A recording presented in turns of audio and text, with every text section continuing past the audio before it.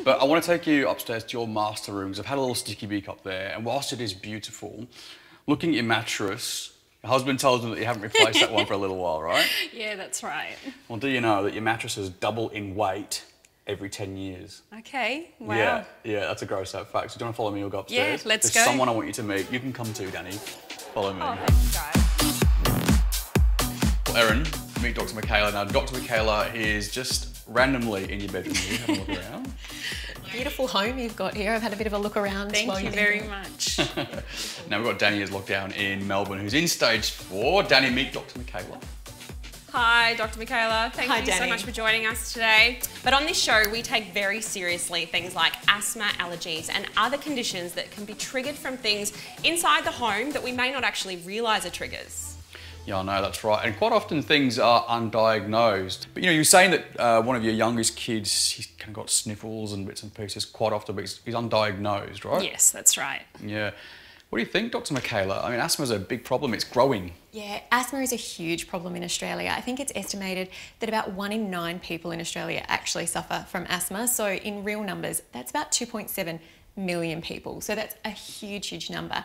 And one of the biggest issues in terms of triggering asthma is dust mite.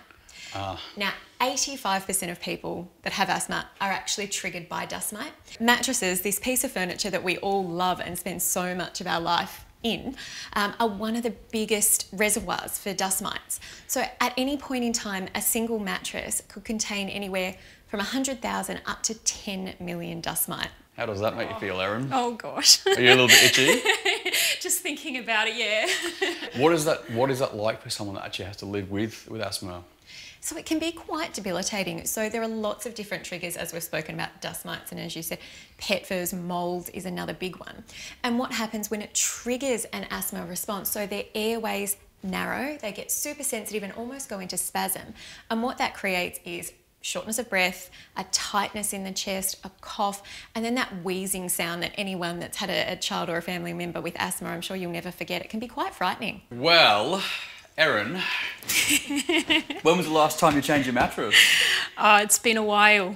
How many? Are we talking like a ten-year gap? It'd be close to it, yeah. Oh yeah, I'll just go. off. No worries.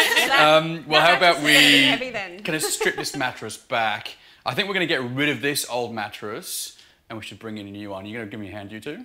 Sounds like You a got your muscles? Sounds I have got my muscles. I'm ready to go. Let's go. You relax, Danny. We've got this, okay? All I've right, got oh, my no coffee, don't worry. beautiful.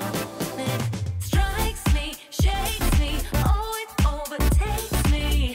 You are so beautiful, you are so beautiful. Strikes me, shakes me, oh it. So, any ideas what we're doing? No, we're not building a fish tank with jellyfish in there. Oh, Erin, damn. any clues? Oh, I don't know, maybe a quilt or something. oh, it could be. You and I both know what this is, don't we? We do, we do. So, inside here is the, I guess, next revolution when it comes to mattresses.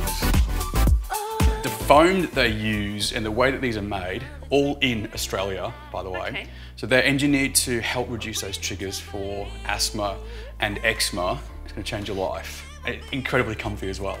Sounds good. Do you believe me? Finally can see you are So, Danny, oh, it's pretty comfy to be honest. Oh, it looks really comfy, Walt. I'm just a little bit jealous, I think, of your uh, chilling down on the uh, the brand new mattress. It looks amazing, guys. You're gonna love it. And one of the best parts about the jellyfish mattress is that the foam actually prevents the growth of fungi, bacteria, and it also helps stop dust mites from breeding. So it's basically working to eliminate all of those different triggers for asthma, allergies, and eczema from the home. There's definitely no dust mites in here. I'm having a look. I can't- I can't quite see They're all on top of you now. Yeah, that's right. There's some fabulous antimicrobial technology in there, which, as Danny said, prevents all of those fungi and dust and mold from growing in there, which is so, so important in anyone that suffers from allergies or asthma. Uh, now, Walt, I've actually had a bit of a Google and I've managed to find the website and it looks really, really good. And one of the best things is you can actually buy online. So for all of all of the people in Victoria right now in lockdown, that is the best thing. It's jellyfishmattress.com.au. So be sure to check them out.